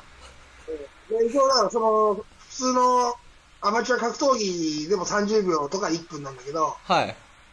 でさその前回ほら3ラウンドだったじゃんはいはいはい。3ラウンドだからインターバル1分だったけど、はい。で今回は2ラウンドだから、30秒にしましょうって話。いや、バテますって。2ラウンド目グダグダになるより1分休憩させてバチバチでやらせてくださいよ。あのさ、は体力を温存するのも作戦の一つですよ。い。いやいやいやいや、1ラウンド目で動かないっていう。マジっすか？え、これ決定っすか？そうだね。マ配信ジしてない。わかりました。じゃあ、30秒配でが、頑張ります。動けるように。あれ、わざ配信外配信してますよ、今。はいマジ。だよね。ふわっちです。あ、岡山の旅か。そうです、そうです。岡山いいんですよ、今。うん了解了解。ういっす。じゃあ、30秒で考えて、あの、想定しておきます。大丈夫大丈夫。ワードはもう強くなってるから、僕はしてくれて。マジですか？いけますかね？いけるいける。了解あとは、その、ほら、時期通ってるじゃん？はい。で、また、旅から帰ったら行くでしょ？はい。で、そこで、はいその、授業の人にそれを伝えて30秒のインターバルで、はい一回練習させてもらったらいいよ。了解です。ういっす。ありがとうございます。はい。やっぱりあれだね、イベントの都合だね。うん。イベントの尺の問題だね。試合数が増えたっていうのと、番組上だれるからっていう。展開難しいなだほ、ほぼ4ラウンドフルでやるぐらいの体力作っておかないとダメだわ。結構今回楽できるかなと思ったんだけど。え、柏木やってんだ？へえ。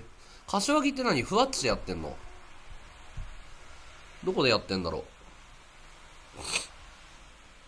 柏木どこでやってんの？ニコ生かな？ニコ生か。戻ってきたんだ、柏木。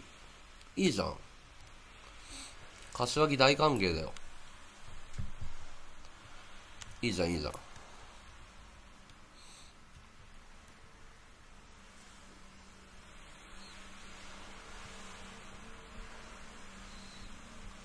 リア充になった、そうっすよね。あの、ひひなりと、ひなりともう別れたんすかね。盛り上げてこうぜ、とか言って。あ、ニコ生やってんだ、柏木。まあ、柏木面白いかんな。普通にふわっちやりゃいいのに、あいつ。なんかつかみどころがねえな。っていうか、太りすぎてさ、体が動かないんだよ。ちょっと減量しないとダメだわ、捨て頃。もう仕上げの時期でしょ。あと2ヶ月しかないから。考えないとまずいな。太りすぎた。増量しすぎた。ふわっちやってた？へえ、今度見てみよう。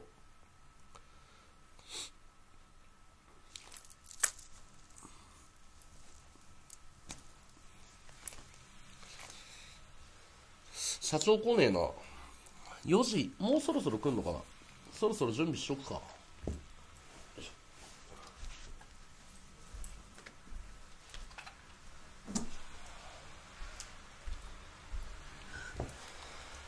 いいね。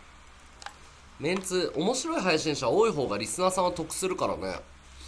柏木力あるからね。俺あのさ、柏木のプロレスの配信くっそ笑ったもん。知ってる？柏木のプロレス配信。プロレスに道場破り行った配信。最高に面白かったよね、あいつ。バカすぎて。いいね。メンツが揃ってきたね。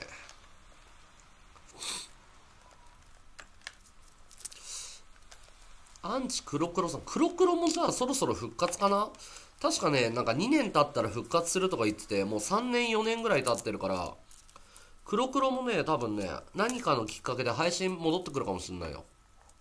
マジ吉できるね。あいつ結構役者だからね。て、てか多分今の時代に合ってると思うよ。柏木は。ふわっちでも、なんか、こうやって配信は沸かせんだよっていうの。あ、懐かしいね、SM, SM 配信とかね。うん。懐かしい。ね、ワンワンも最近人気出てきたもんね。荒野のおかげで。ワンワン再評価されてるし。ライバルが増えるのはいいことだよ。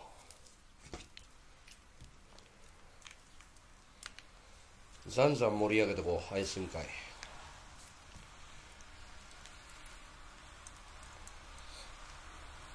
なんかみんな引退しちゃってたから寂しかったんだよね、同期が。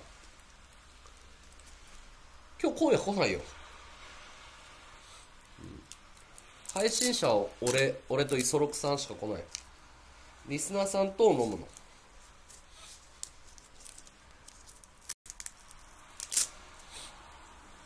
声は来ないよ。あ、いいでしょ？ペンペン。素敵な社長さんでしょ？今ね、あの、会社のミーティングっていうか役員会かなんかに行っちゃってて、もうすぐ戻ってくると思う。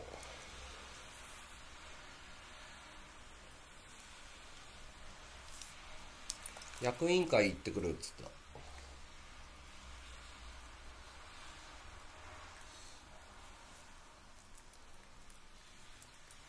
昔から変わってない素敵な人だよ。俺より若いのにすごいよな。まだ30代でね、こんだけ事業成功してるからね。でもね、あの、昨日社長が言ってたのがね、あと5年経ったら従業員育つはずだから、今抱えてるその、50人、100人ぐらいのさ、地方にバラバラに飛び散ってるスタッフが育ったら、多分仕掛けられるって言ってた。今人育ててるって言ってた。なんか会社の売り上げとかじゃなくて、まずは人育てないとっつってて。今日リアルタイムで見れる。OK、楽しもう。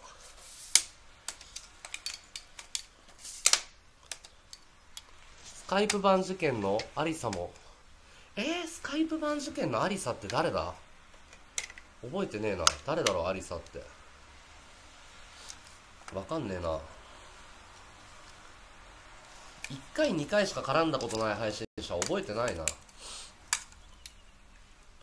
アリサ？そんな女いたっけ？誰だろう。ちょっと記憶にねえな。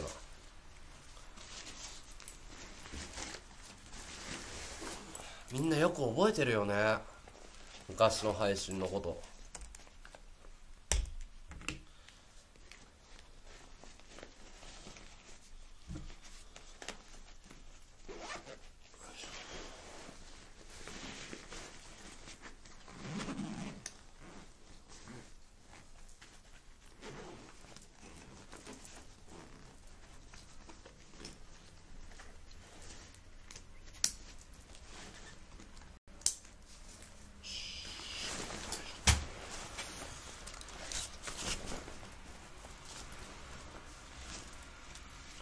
あーわかんそれ。全然わかんない。おおダイヤモンドさんいらっしゃい。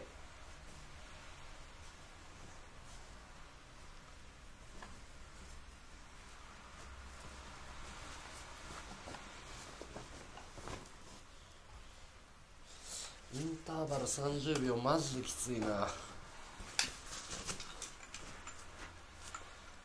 しょうがないよね。演者でもあるからな。楽だもんな。ただ勝ちゃいいってわけじゃないもんね。エンターテインメントとして盛り上げないといけないもんね。便所さんの立場だと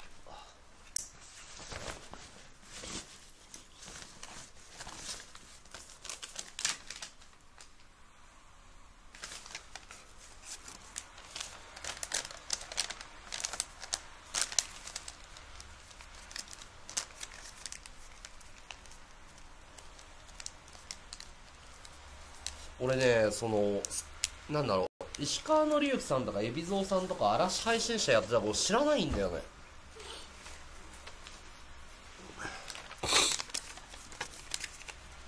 その頃配信にまだ入ってきてないから。すごかったらしいよね。みどりさん。みどりさんじゃないや紀之さん。しっちゃかめっちゃかだったって聞いたよ。今とは全然違うんでしょキャラクター。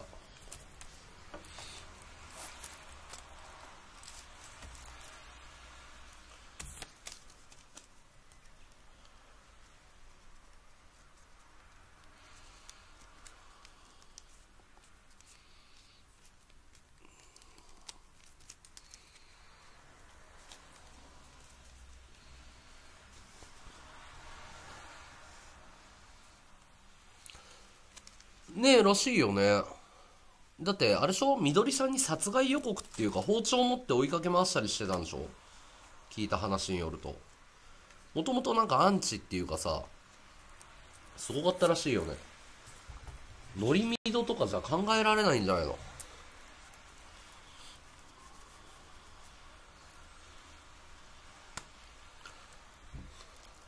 そう。キャラクター違いすぎるだろ。うあとなんか最近忘れられてるけどさあの俺あれは知ってるんだよね。あのなぜか知んないけどオナニーしたやつ。あの時期何だったの？のりゆきさん。なんか瞑想してたよね。何だったの？あれ。オナニーオナニーしたよね？一回。しかも射精までがっつり映したよね。今ねどこにいるか分かんないんだけど今からあの岡山市内のイオンに行って買い物してで8時半ぐらいに関橋行く。多分飯食ったりプラプラするんだよね。昨日なんだっけななんかごまラーメン食ったな昨日。な地元で美味しいラーメン屋さん。ごまラーメン。なんなんて言うんだっけ。10店舗ぐらいあるっつってたな。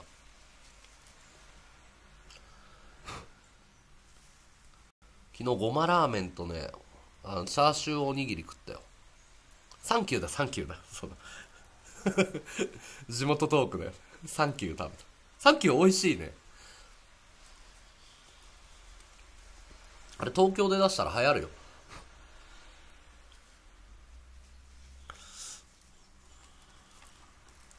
ちょっと塩が強すぎる感じがするけどしょっぱい。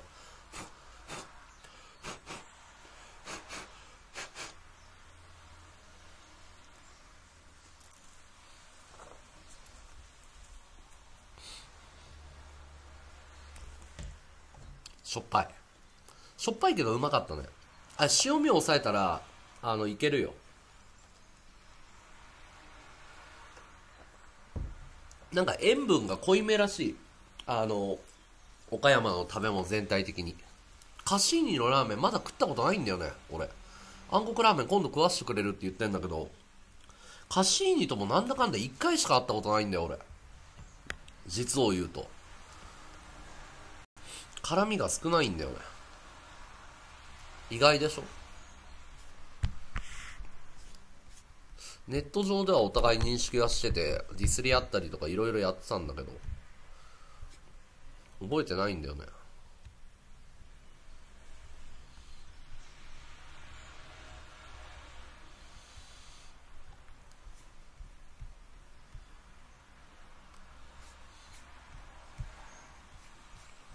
ロハコの面白かった。えー、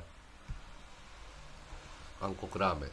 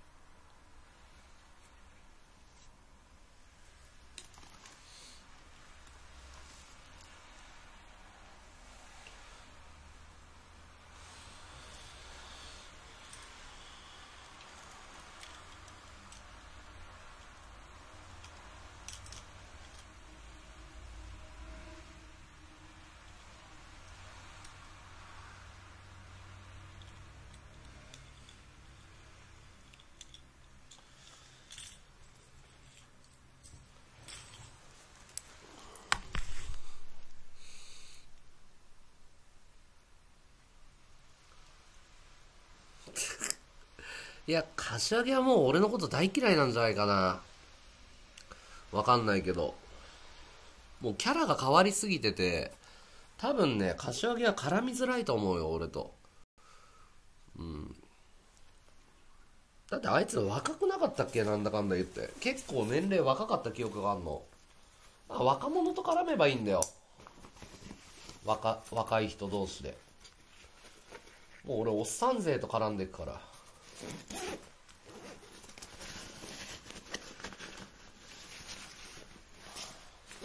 なんかねだんだんね20代のこのノリが分かんなくなってきたんだよね。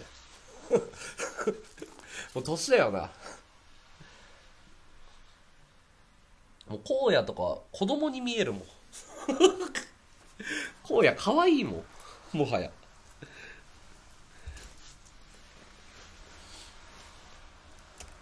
30代の味を出していくよ。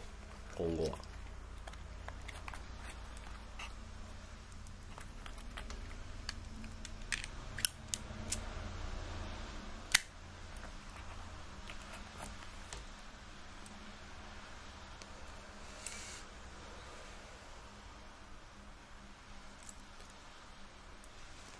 多分役員会。会社の会議遅れてるな。多分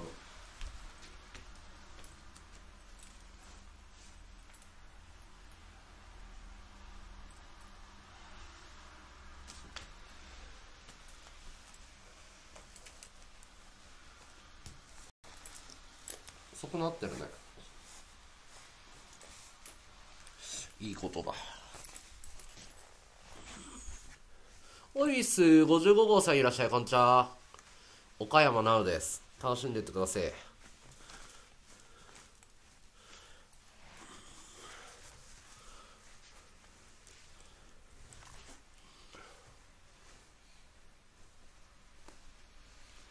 でもなんだかんだね五社部事件で鮫島さんとのつながりできたからあれ結構俺の中ではでかかったよ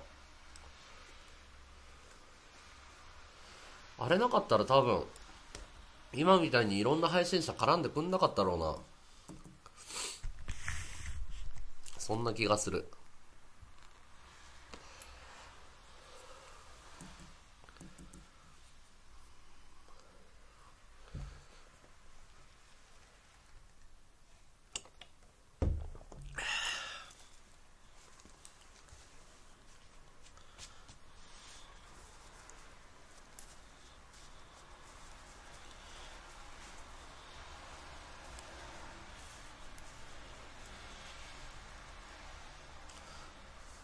いやうさぎ盗んだら俺はちょっとちょっとみたいに言ってくれると思ったの野田総理が。何やってんだよって言ってくれると思ったら思いのほか放置きょとんってされたからいや引くに引けねえ引けなくなっちゃったんだよ。俺はちょっと小ネタのつもりだったの。肉盗んでダッシュしようとした瞬間に止めてくれると思ったのねちょ何やってんだよみたいなダメだよみたいなノリを想定してたら泳がされたの。泳がされて普通に警察呼ばれたからマジかと思って。そう。だから人間関係できてないのにあのうざがらみはダメだなっていうのが勉強になったね、うん、そう。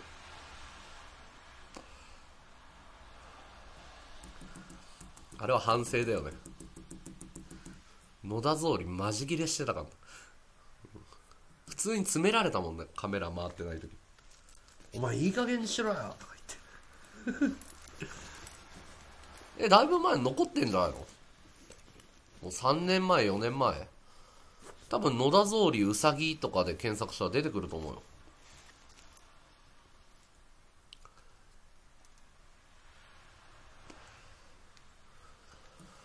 でも見れなかったね。俺は食えなかった。もうまん丸うさぎがくてんってうさぎがまん丸に焼けて超いい匂いすんの。あれ絶対うまいのはうまいけど姿うさぎの姿がこうなってんの。目が合うの。あれ絶対美味しいと思うようさぎの肉は。まずくない。高級ハムみたいな匂いしてたから。でもなんかもう俺うさぎ可愛くて見れなかった。生きたうさぎじゃないよ。その食べる用の食用のうさぎがあるの。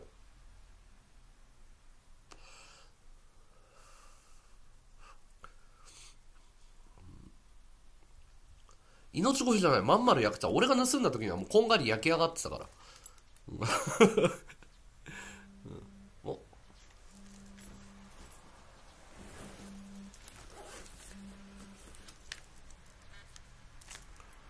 もしもしお疲れ様です。ういっす。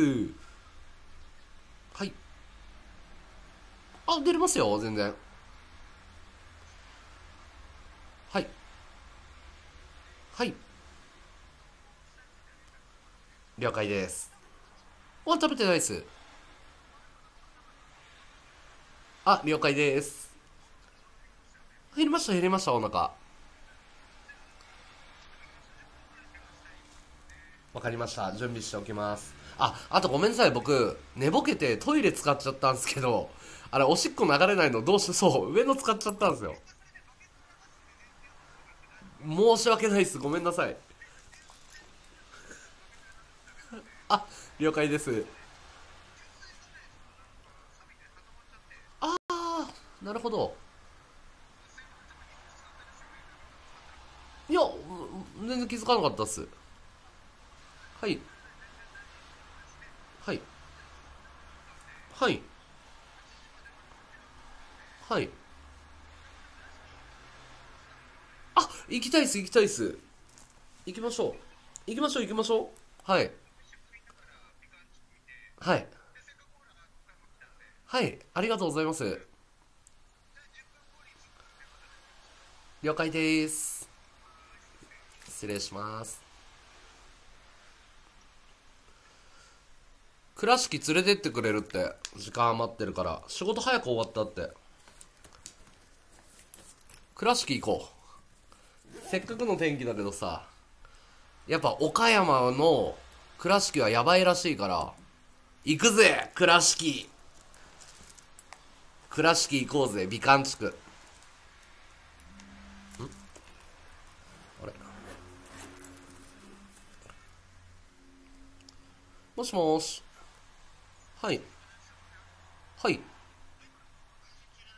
あ配信しますよ。ただあの声乗ってないです。遠くに行きますね。どうしたんですかはいはいはいなんて来たんですか？はい。はい。え？え？いや。あいや僕の繋がってるんですけど絶対そういうことしないんですよ。偽アカウントなんでそれ。あのアカウントを分かる感じでキャプチャー取って送ってもらうことできますか？多分偽物ですね。ちょっと確認取ります。はい、うん。あいやあのかしゃ後でそれ確認させてもらってもいいですか？了解です。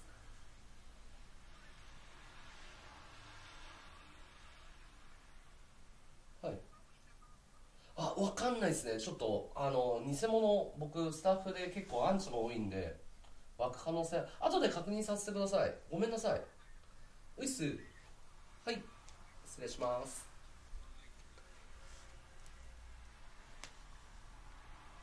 えなんだろう？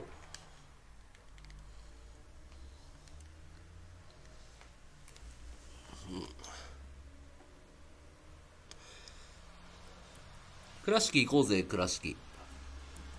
倉敷配信。超楽しみじゃない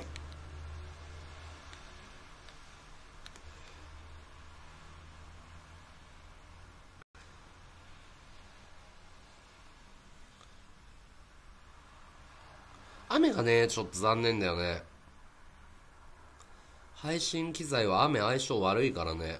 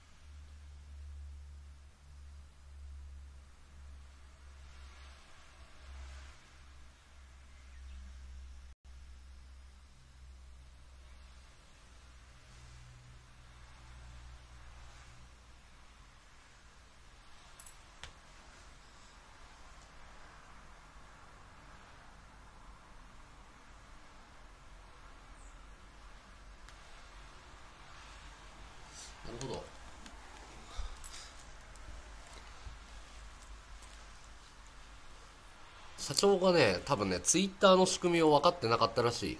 匠さん本人だった。匠さんが あのお店の写真をリツイートしたらなんか DM くださいって送られてきたんですけどマネージャーさんからって言って。プロフィール欄だったっす。ね 今説明したわ。アンチではなかった。ちょっと面白いよ。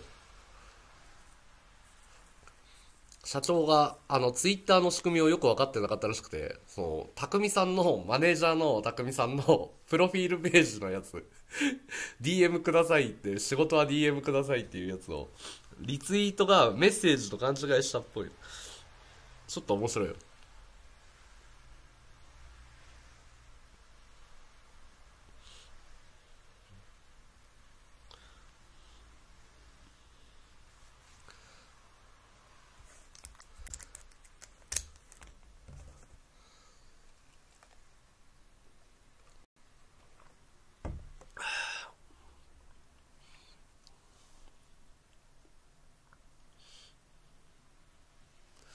すごい雨降ってる？マジで？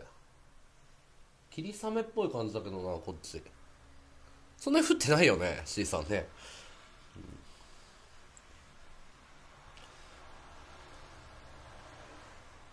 ああやべえ。延長しちゃった。タイミング悪かったな。なんかね延長1分ぐらいミスるんだよな。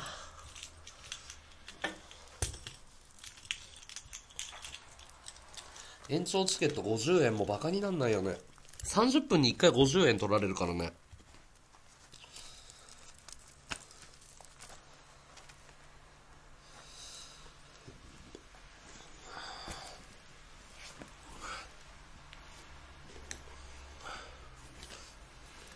じゃあ行きますか。一旦じゃあ配信終了します。お疲れ様です。ありがとうございました。また見に来てください。ありがとね。